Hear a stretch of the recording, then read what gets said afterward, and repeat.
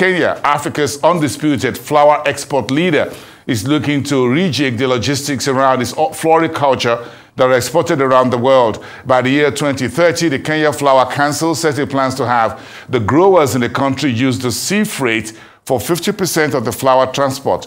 This and more were what Lina Jamwa, a top officials of Kenya Flower Council, spoke about at the recently concluded Flower Logistics Africa Conference. Let's listen to her.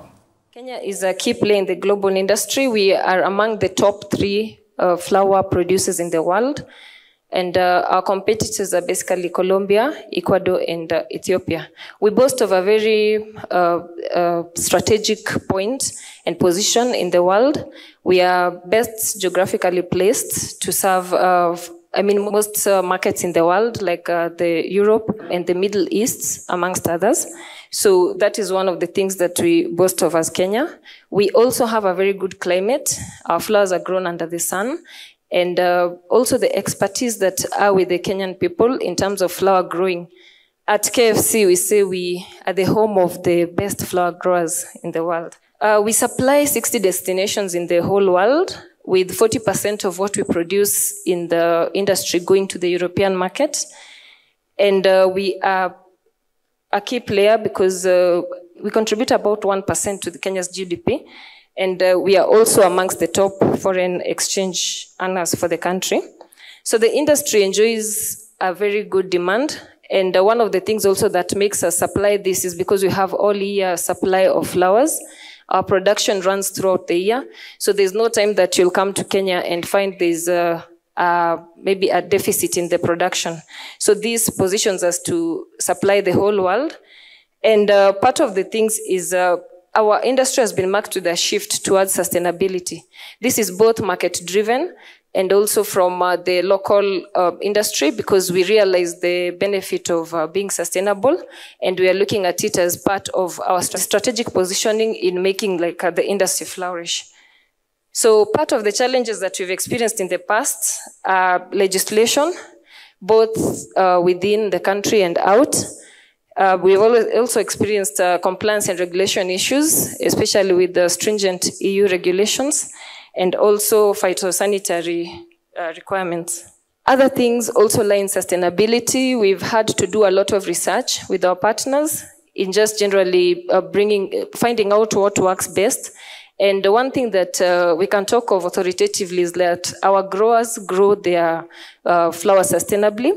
We have the KFC Flowers and Ornamental Sustainability Standard, uh, commonly known as KFC Silver in the market. This standard uh, basically checks on social, environmental, and good agricultural practices. So we mark this on uh, audits with our farms and just making sure that our growers grow their flowers sustainably. This is something that we've been able to work around. But before that, we had to do a lot of uh, research and just basically checking on what works where. Yeah, there's also cold chain management. We've had challenges there because you find like in the value chain from production to the to transit, uh, there are loopholes that have been there, but we've uh, that have posed a challenge to the uh, product quality amongst others. Then climate change has also posed a challenge in terms of uh, carbon footprint and just generally maintaining that at a considerably okay level. Then uh, logistics is also a challenge on our end because uh, what has happened is uh, in the industry we've had high freight costs. Um, most of the industry is supplied by via air freight, and so we've had uh, high freight costs coming from that. And uh, uh, part of it also has also been the Red Sea war that is now there and it's hampering logistics.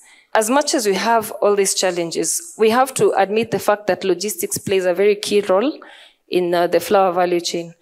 I mean, it determines how the product comes from the grower up to the market and vice versa. And uh, also how we import our inputs if we need to, or how we get our inputs. So a good logistic structure is very important. And um, one of the things that we are looking into right now, these logistical challenges, part of what has uh, really hampered the industry, is really hampering the industry, is the Red Sea crisis. And uh, this has increased the turnaround time. I mean, from uh, we've been trying to promote sea freight as an option to air freight in terms of uh, transporting flowers, but the Red Sea crisis has uh, come in from um, um, transporting the cargo from Kenya through the Red Sea and Suez Canal, we are now using the Cape of Good Hope, which is a longer transit uh, distance. And so we have higher transit times because of that. The other thing that uh, has come to play is the fact that uh, we have high freight costs. I mean, with the longer distance you have, you have, it becomes more expensive. And I think uh, the logistics persons who are in the room can attest to that, and they can give more uh, in-depth information. There's also port congestion. One of the transshipment ports we've been uh, using is Jeddah, which is uh, squarely at the Red Sea. And so you find that uh, because we don't have like so many ports on the line, uh, the, the alternative route, we have congestion at the ports.